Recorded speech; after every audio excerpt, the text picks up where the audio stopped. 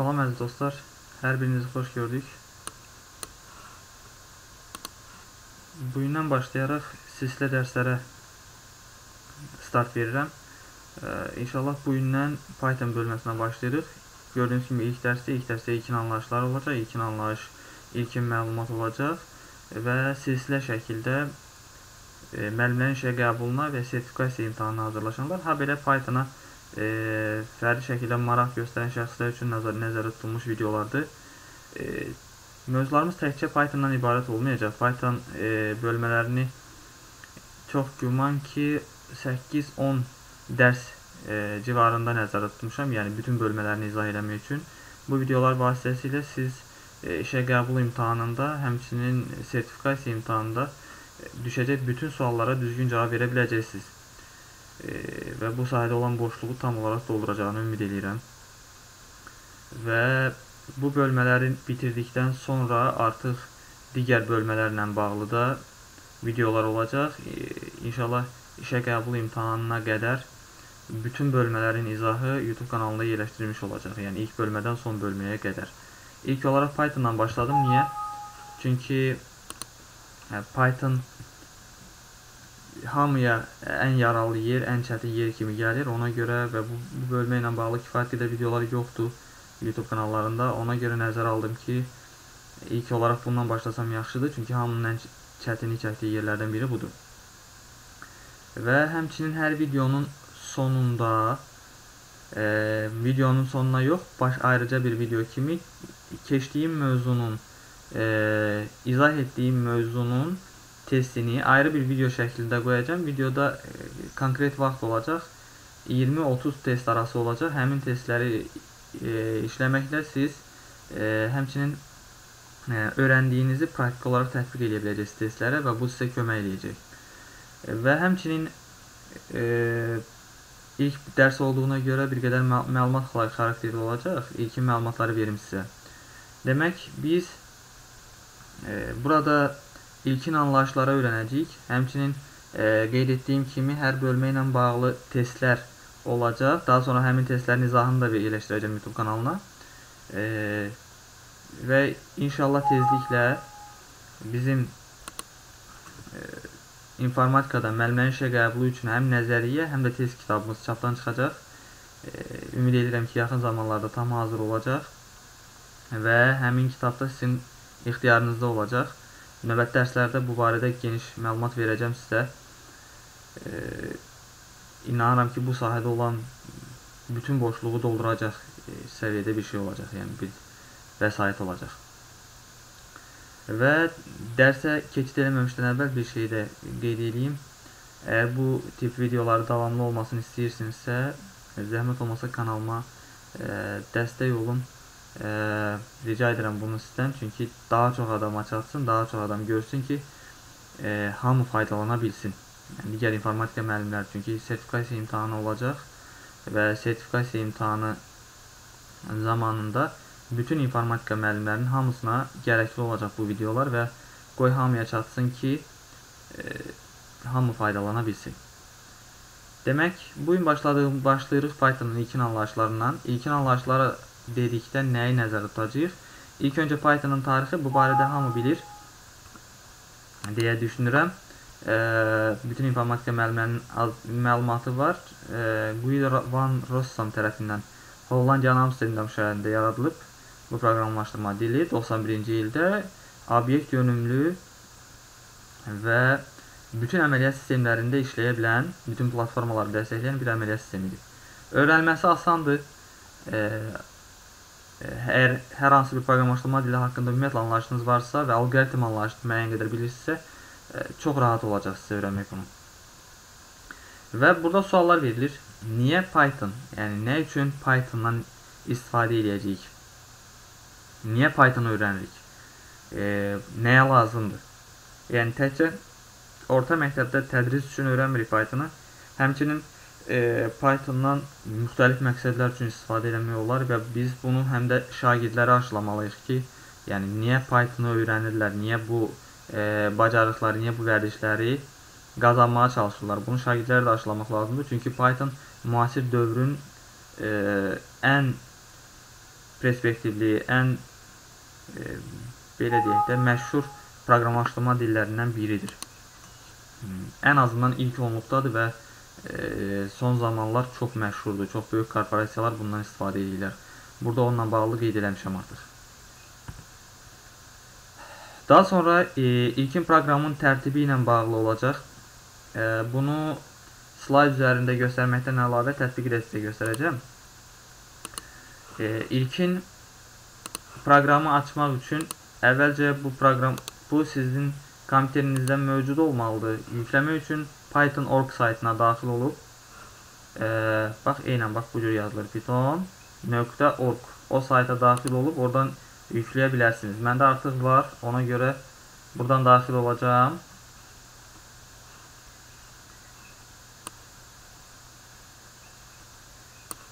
Python 3.7 və IDE-sini açacağam. Mən də artıq burada yerləşdirmişəm. Yəni buradan IDE-sini açırıq, yaxud da mən qısa yolunu yerləşdirmişəm. Tapşırıqlar panelini buradan açacağam. Açdıqda ilk pəncərəmiz belədir. E, bu pəncərə nə işimizə yarayır? Burada gördüyünüz bu işarə adlanır çağırış işarəsi. E, burada qeyd etdikdən sonra nəyi ki qeyd edəcəyik?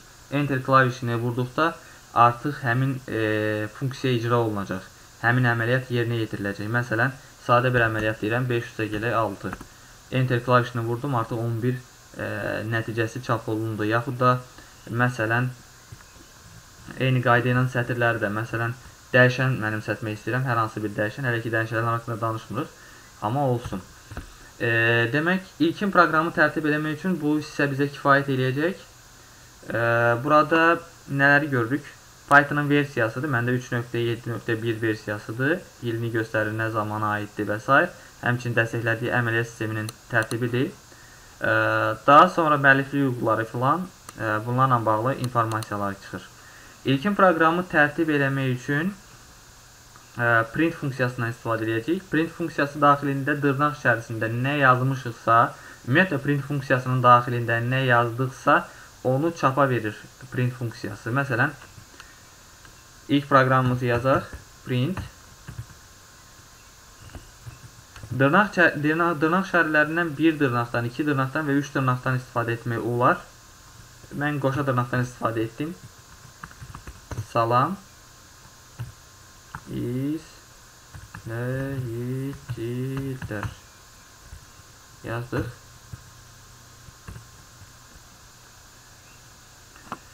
və enter klavişini vursaq, həmin məlumat artıq çap olunacaq, bizim üçün görünəcək. Biz davam eləyək. E, daha sonra gəlir Pythonda dəyişən anlayışını. Dəyişən anlayışı nədir? E, bir sabitlər anlayışı, bax məsələn 500-ə yerə 6 yazdıq, sabit aydın məsələdir. Yəni konkret olaraq qiymətləri var və bunlara deyirik sabitlər. Dəyişənlər nədir? Dəyişənlər elə bir qiymət ki, biz onun qiymətini dəfələrlə dəyişə bilirik. Orta məktəbdə riyaziyyatdan bildiyimiz dəyişən anlayışına bənzəyir, amma tam olaraq dəyişən anlayışına eyni deyil. E, bu barədə alqoritm bölməsi ilə bağlı məlumatımız varsa, alqoritmdə dəyişənə necə baxırıqsa, burada da eynən o cür baxacağıq. Məsələn, A bərabərdir 5 qiyməti verirəm əvvəlcə. Daha sonra B bərabərdir 2 qiyməti götürürəm. Və indi yazıram A üstə gələk B. Enter klavişini vurdum. A-ya 5 qiymətini, B-yə 2 qiymətini mənimsətmişəm və indi onların cəmini tapdım 7. İndi məsələn dəyişək bir qədər də A bərabərdir A plus B yazıram. E, cəmləyirəm onları. A-nın qiyməti artıq dəyişdi. İndi yazıram A üstə gələk ya da sadəcə Ee, məsələn, A vuraq, B yazıram. Bunun nəticəsini çap edəcəm. İndi diqqətlə baxsaq, A-nın ilkin qiyməti 5 idi, B-nin qiyməti 2 idi. Gəlirik aşağı. A üstə, A üstə gələk B-ni çap eləməyə lazım gələndə sadəcə topladıq. A ilə B-ni topladıq. İndi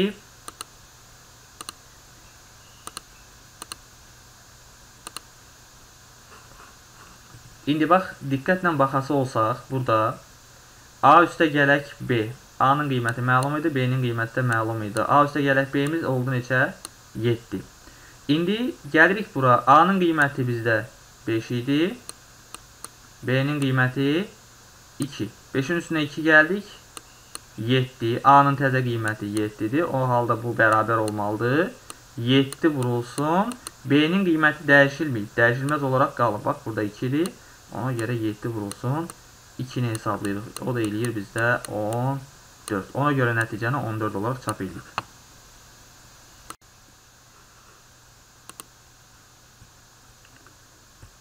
Dəyişənlərlə bağlı danışdıq. Demək, dəyişənlərin adında istifadəsi qadağan olunan xüsusi simvollar var. Bunlar gördüyünüz simvollardır. Dırnaq şərlərdir, bunlardır. Yəni, burada gördüyünüz simvollarla heç zaman dəyişən adı başlaya bilməz. Ya da dəyişən adının tərkibində bu simvollardan istifadə etmək olmaz. Məsələn, indi nümunə kimi yazaq. Bura məsələn e, D, S, məsələn, yazmaq istəyirəm. Böyükdür, kiçikdir işarələrini. G bərabərdir 2. E, bu zaman e, sintaksis səhvi meydana çıxacaq. Çünki bunlar qadağan olunmuş simvollar hesab olunur. Sonra dəyişənin adı rəqəm və riyazi ifadə ilə başlaya bilməz. Məsələn, belə bir dəyişən adı ola bilməz. Məsəl üçün 2 kitab bər bərabərdir 2. Bu ola bilməz. Artıq səhv verəcək. Daha sonra e, amma burada istisna var. İstisna nədir?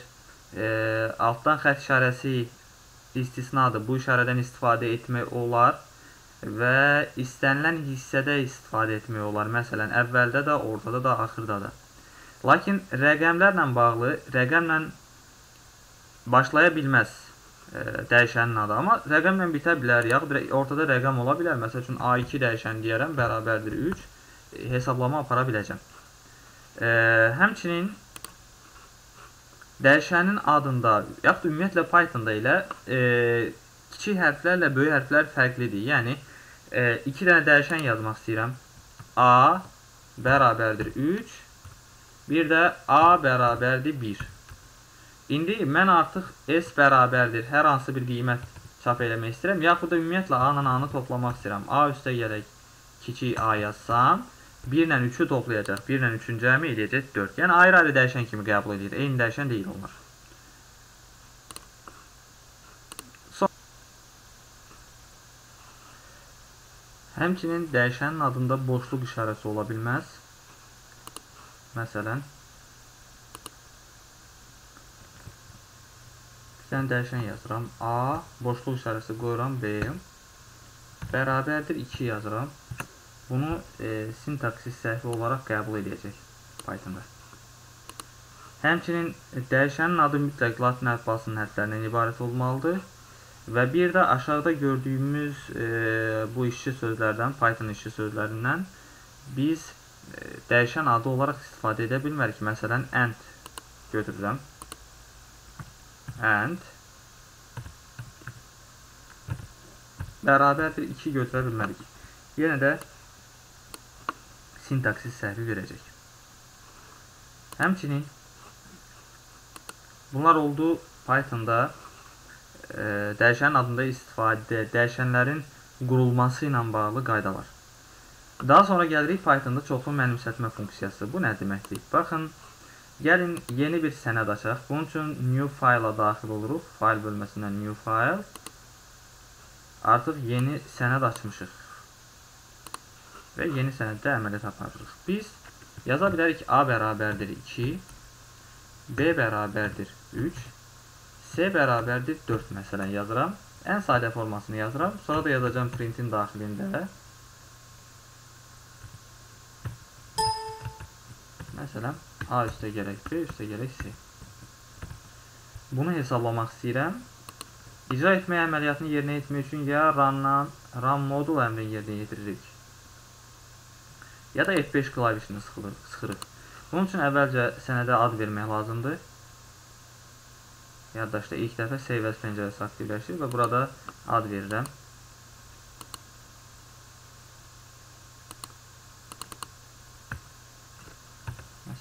Dərs 1.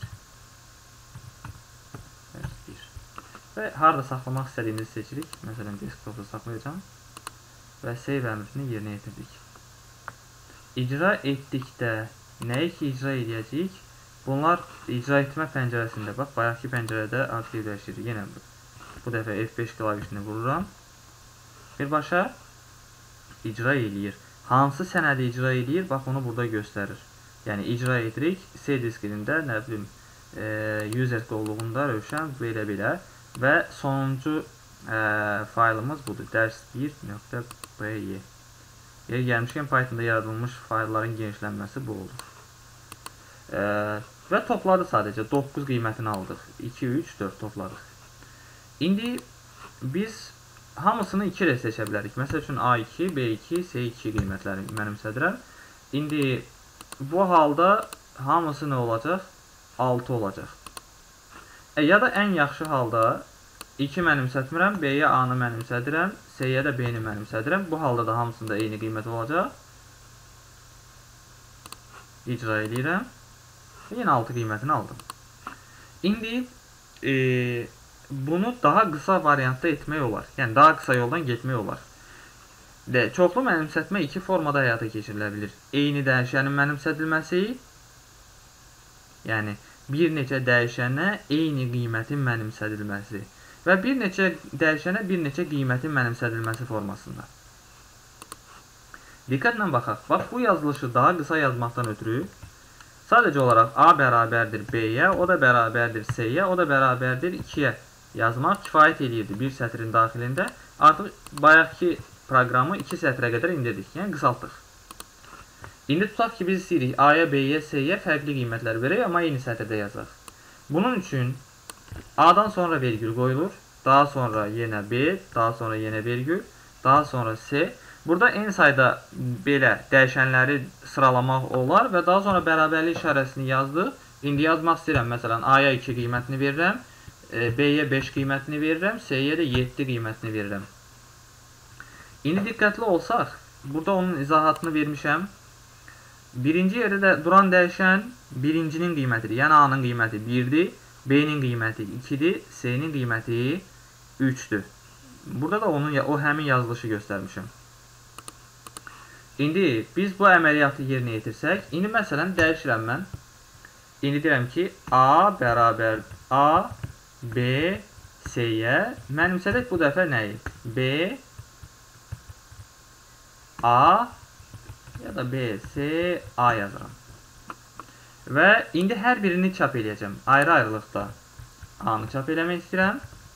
B-ni çap eləmək istəyirəm. C-ni çap eləmək istəyirəm. Gəl onları bir-birindən fərqləndirmək üçün də dırnaq işarəsinin tərkibində boşluqlar qoyacam. Dırnaq, vergülla ayırıram. Bax, bu dırnaq içərisində yazdığım nə yazsam dırnağın tərkibində çapda həmin işarə görsənəcək.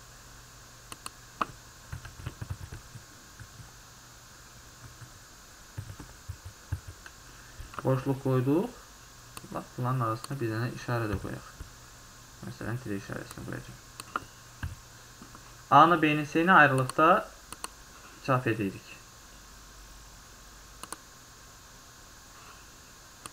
İndi A-nın qiymətini diqqətlə baxsaq, burada A-nın qiyməti 2 idi, amma çap olunub neçə? 5. Niyə? Çünki A-ya B-ni mənimsətmişik, B-yə C-ni mənimsətmişik, C-yə isə A-nın qiymətini mənimsətmişik. Ona görə bu qaydada çap olunub bizdə. Yəni, birinci yerdə durana B-ni mənimsətmişik, B-nin ilkin qiymətini. İkinci yerdə durana C-nin ilkin qiymətini. Üçüncü yerdə durana isə A-nın ilkin qiymətini mənimsətmişik. Ona görə çap olunan nəticə bu şəkildədir. Yəni A-mız 5 olub, alqoritm icra olunandan sonra B-miz 7, C-miz isə 2. Bu qayda ilə. Bu biz dedik buna çoxlu mənimsətmə. Daha sonra input funksiyası gəlir. İlkin anlayışların içində input funksiyası hansı fun hansı əməliyyatı yerinə yetirir? Input funksiyası sadəcə daxil etmə əməliyyatını yerinə yetirir. Məsələn, A bərabərdir Ən sadəsini yazacağım.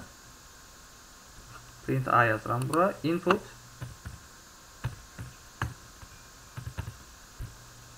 Input funksiyası bizə proqram icra olunarkən dəyişəni klaviaturadan daxil etməyimizə kömək eləyir. İndi biz sadə bir proqram yazdıq. A bərabərdir inputa, yəni daxil edirik.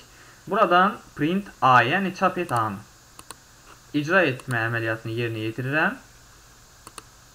Bizdən klaviaturadan nəyisə daxil etməyimizi gözləyir. Qurduğumuz proqrama görə biz nəyi daxil etsək, onu çap eləməliyik. Məsələn, 1, 2, 3 daxil elədim. Enter klavişini vururam, onu çap eləyir. Gəlin bir qədər mürəkkəbləşdirək proqramımızı. Məsələn, A bərabərdir. A üstə gələk, beyin A üstə gələk, 2-ni çap eləmək istəyirəm. A-nın qiymətinin üzərinə 2 gəlib, yenidən onu çap eləyək. Save əmrini icra edirəm, yenə məndən komanda gözləyir. Məsələn, 12 daxil eləyəcəm. Bu zaman tiplə bağlı error verdi, səhv verdi. Bu nə deməkdir? E, bu o deməkdir ki, A-nın qiymətini daxil edərkən biz tipini göstərməmişik. Yəni, e, bilmir ki, proqram bizim daxil elədiyimiz mətindir, yoxsa ədəddir. Bunun qarşısını almaq üçün, məsələn, yalnız ədədləri daxil eləmək istəyiriksə, qarşısına int yazacağıq. Daha sonra izah edəcəm int hansı funksiyanı yerinə yetirir. Tipin adı da integer tipinin, yəni tam tip deməkdir. Artıq RAM modulunu çağırıram, yəni icra edirəm. İndi 12 daxil edirəm, artıq əməliyyatı icra elədi. Yəni, daxil elədiyimi ədədə çevirdi və 12-nin üstünə 2 gəlib bizə cavab olaraq verdi. Input funksiyası iki formalı olur. Parametrli, parametrsiz. Parametrli funksiyasının əsas fərqli tərəfi nədir? Parametrlidə dəyişənin dəyişən, yəni daxil edəcəyimiz dəyişəndən əvvəl istədiyimiz sözü yaza bilərik dırnaq daxilində. Nəyi yazsaq, burada həmin söz çap olunur. Daha sonra biz dəyişəni daxil edirik sətr üzrə və onu da çap edir. Parametrlisiz formada bayaq göstərdiyimdə adi e, input funksiyası. Aha, indi gəlirik əd, e, ədəd tipinə. Ümumiyyətlə Pythonda e, bir neçə tipdən istifadə edirlər. İlk tipimiz ədədlərdir. Ədədlər olur tam tipdə, yəni integer tipi int ilə göstərilir. int şəklində göstərilir. Daha sonra floatdır onluq kəsir, daha doğru desək ona, sürüşkən nöqtəli onluq kəsirləri təsvir edirlər. Məsələn, 5.2, 5.2-ni. Və e, kompleks ədədləri göstərir. Ümumiyyətlə, verilənin hansı tipə aid olduğunu göstərmək üçün type funksiyasından istifadə edirlər. Yəni, məsələn, burada qeyd edəcəm.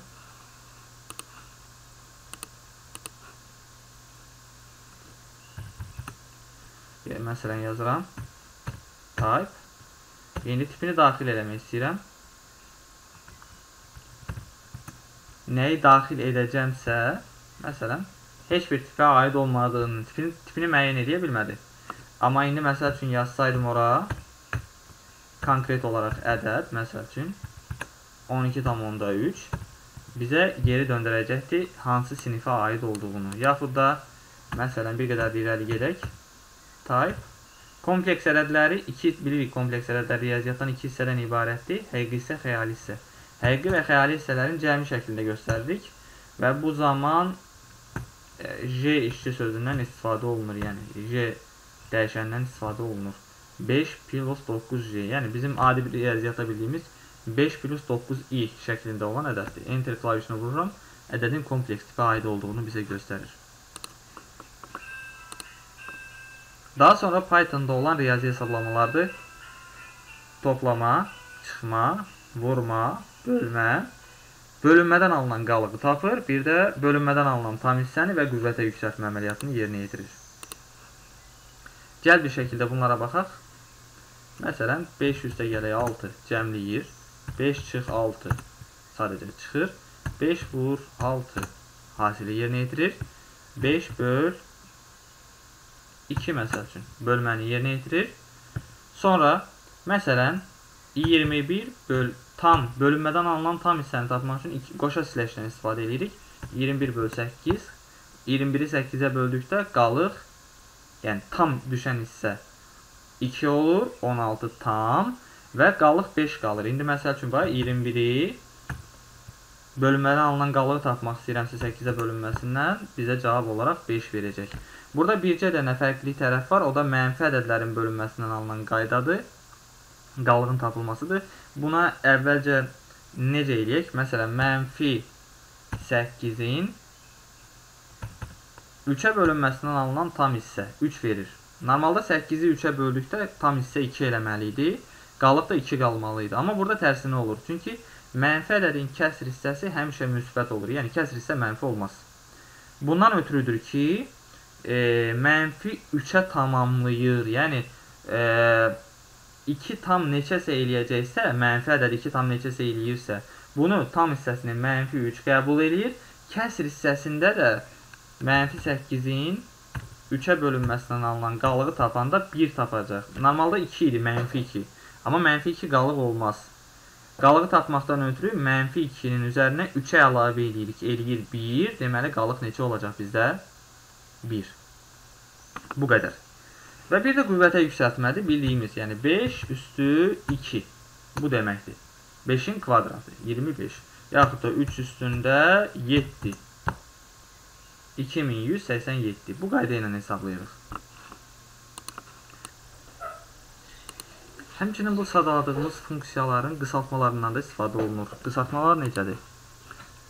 Məsələn, biz burada A üstə gələk 2 əvəzinə sadəcə olaraq A plus 2 yaza bilərik. Yəni, üstə gəl bərabərdir 2 yaza bilərik. Bu zaman A üstə gələk 2-ni A üstə gələk 2-ni. A bərabərdir. A üstə gələk 2 kimi e, qəbul edir Python. Bunun üçün şərtdən istifadə edək. Şərtlər həmişə DS işarəsi ilə göstərilir və şərtlər ümumi nəticəyə aidiyyat, aidliyi yoxdur. Yəni, onlar çap olunmazlar. Məsələn, yazıram. Bu A bərabərdir. A üstə gələk 2 deməkdir. Baxın, bu gördüyümüz e, yazı ümumiyyətlə çapda getməyəcək. Həmçinin e, mən burada sizə göstərməkdən ötürü yazdım ki, yəni bu nə deməkdir? A bərabərdir, A üstə gələk 2 deməkdir. Bunu icra eləyəsi olsaq, eynən bayaqki kimi bizdən nəticə gözləyir. Məsəl üçün 12 daxil elədik. 12-nin üstünə 2 da əlavə elədik. Oldu 14. Eyni qayda ilə digərlərini də eləmək olur. Məsəl üçün bölürük 2. Bu nə demək olacaq? A bərabərdir. A bölünsün 2 deməkdir. İcra eləsək, məsələn, daxil edirəm 13. 13-ü 2-yə bölür, 6,5. A bərabərdir. A bölünsün 2 demək olacaq. Digər funksiyalarda eyni qayda ilə icra eləmək olacaq. Məsələn, bölünmədən alınan qalığı tapmaq istəyirəm. A-nın 5-ə bölünməsindən alınan qalıq. A-nı daxil edəcəm klaviaturadan.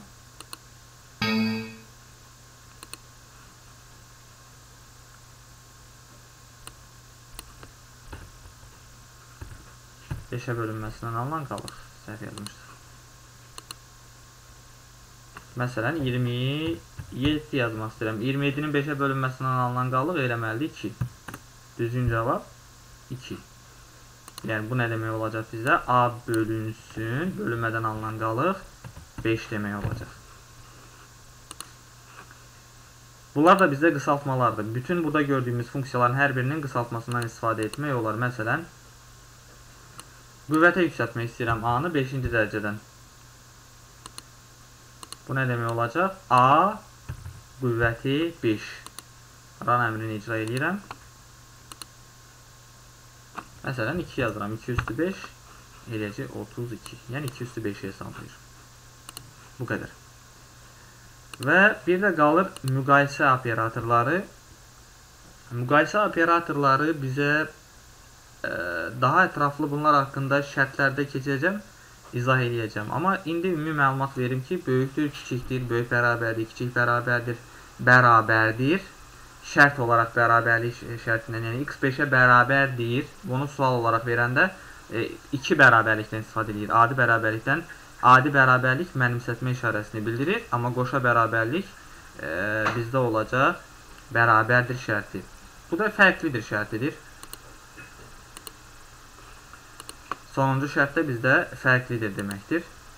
Həmçinin is və in ə, is qiyməti ID qiymətlərinin bərabərliyidir. Yəni qiymət bərabərliyi kodlarının bərabər olması. İndi aidlik deməkdir, daxilindədir, içindədir. Bunu daha ətraflı keçəcəyik e, biz sizlə massivləri keçəndə. Yəni orada onunla bağlı məlumat verəcəm. Bir iki nümunə göstərək buna aid və bununla da yekunlaşdıraq. Demək, məsələn, indi yazmaq istəyirik ki, 5 böyükdür 2-dən. Bunun nəticəsi true verilir, yəni doğru verilir. Çünki 5 2-dən həqiqətən böyükdür. Məsələn, 3 kiçikdir 1. Nəticə verir false. Ümumiyyətlə yadımızda saxlayırıq. E, məntiq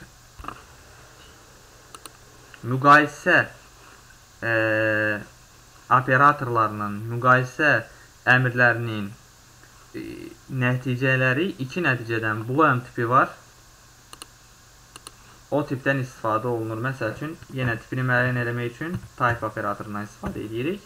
Məsələn, yazıram 3 böyükdür 1-dən. Və nəticə bool verdi. Bool e, orta məktəbdə keçirilir və gələcək mövzularımızdan biri olacaq məntiq, riyazi məntiq elementləri bul məntiqi deyirlər ona. E, məşhur riyaziyyatçı bulun adı ilə bağlıdır. E, və burada da eyni addan adlandırılıb. Və bul adlandırılıb. Demək, e, bu tip amma bunların qiymətlərini hesablamaq lazım gələndə, yəni ta ki toplama, çıxma, vurma, bölmə kimi əməliyyatları, məntiq əməliyyatları üzərində icra elədikdə isə e, o halda artıq bizdə başqa qiymətlər alınır. Yəni true-nu, yəni doğru cavabı 1 kimi, ə, false qiymətini 0 kimi qəbul eləyir. Yəni bir növ bool qiymətini integer qiymətinə çevirir. Məsələn, sadə bir nümunə yazacağam. A bərabərdir 5 Mötərizə daxilində yazaq. 5 böyükdür 3-dən üzərinə gələk 7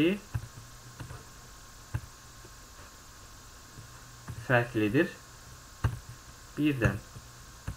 Baxsaq, hər ikisinin cavabı true olacaq. Doğrudur, doğrudur. İcra etsək, nəticəni bizə 2 olaraq çap edəcək. Niyə? Çünki bunun qiyməti 1-dir, bunun qiyməti də 1-dir. Nəticə olur 2. Bu qədər. E, ilk dərsimiz başa çatır bundan. E, növbəti dərslərdə görüşənədək e, bu videonun ardınca bu bölmələrə aid testləri yerləşdirəcəm və testlərin cavabları sonda olacaq. Hər birinizə diqqətinizə görə təşəkkür edirəm. Əgər videonu bəyəndinizsə, bəyən tuşuna vurmağı və əgər davamlı olmasını istəyirsə videoların abunə olmağı unutmayın. Sağ olun.